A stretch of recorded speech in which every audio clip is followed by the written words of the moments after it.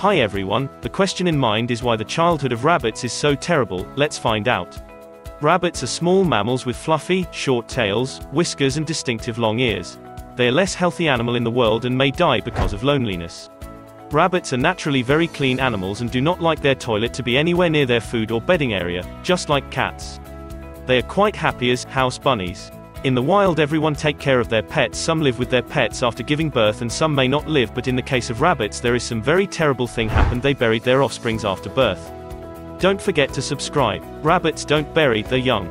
They simply close off the entrance to the nest burrow to prevent predators from entering. The mother will go back a couple of times a day to nurse them, opening the entrance and then resealing it when she leaves, so there's little danger of suffocation.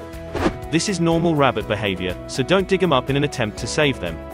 They haven't been abandoned or buried alive. How do baby rabbits breathe underground? Mama rabbit literally buried the babies and stomped down the soil. Yeah, I wondered about that too.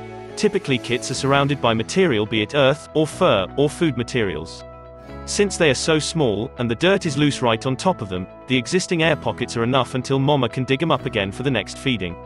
The hole probably goes a bit further laterally than we can see as well, so they can gather together off to the side. Why mother rabbits eat their baby? A doe, female rabbit, will eat her kittens, baby rabbits, if she is really stressed out of uncomfortable. She might also eat a baby if it is born dead to prevent the smell of the decaying body to attract predators. They may also feel threatened having any animal, such as cats or dogs, or even humans by the nest, and they might eat them then. Crows are predators and scavengers by nature. They tend to take on anything, so long as they have the chance. This is why rabbits come into their diet.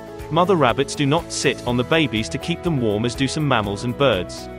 They build a nest with fur and grasses which helps to keep the babies warm in between feedings. A rabbit burrow is an underground system of tunnels which run in several directions and contain nesting areas, runs and emergency exits. Smelling sense. A rabbit's sense of smell is up to 20 times better than a human. Rabbits sniff constantly, splitting their top lip while doing so. Your rabbit is constantly checking for smells that warn of potential threats, such as predators. Swimming. All rabbits can swim as it's a basic survival instinct. Most pet rabbits prefer to stay on dry land. The average litter size for rabbits is 5, though mothers may give birth to as few as 1 and as many as 12. Since young rabbits grow up quite quickly, doe rabbits may have 3 or 4 litters in a season. And female rabbits can get pregnant again almost immediately after giving birth this means more and more rabbits wit in a year. If you like the video press the bell icon for more videos.